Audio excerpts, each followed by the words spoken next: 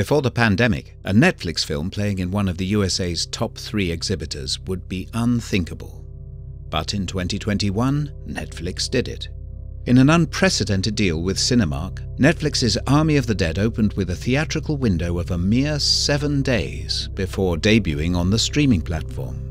This deal is proof that streamers and the pandemic disrupted the frail equilibrium between studios and theaters begun in 1948 after the infamous United States versus Paramount case.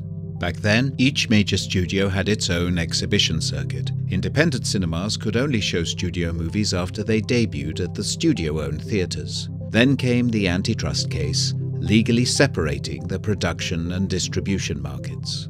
The first theatrical window was born after the advent of TV, created by studios who intended to profit from their films twice once in theatres, then through broadcasting.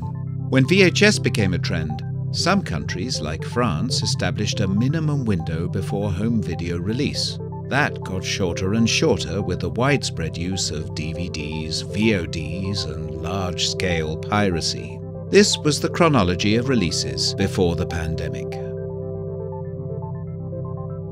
But with theatres forcibly closed in 2020, the systemic changes already happening in global distribution were accelerated. The first to buckle under the pressure was Universal, closing a 17 day window deal with AMC. Warner Brothers took it one step further, deciding on a day and date release in both theatres and on HBO Max for their entire 2021 film slate. Disney didn't take long to follow suit. With that, the theatrical window was shattered. But what will be the role of film distributors? How can they reach audiences, maximize revenue, and release films in this environment? Which new distribution strategies will spring up? And will theatres prove that they still deserve a theatrical window?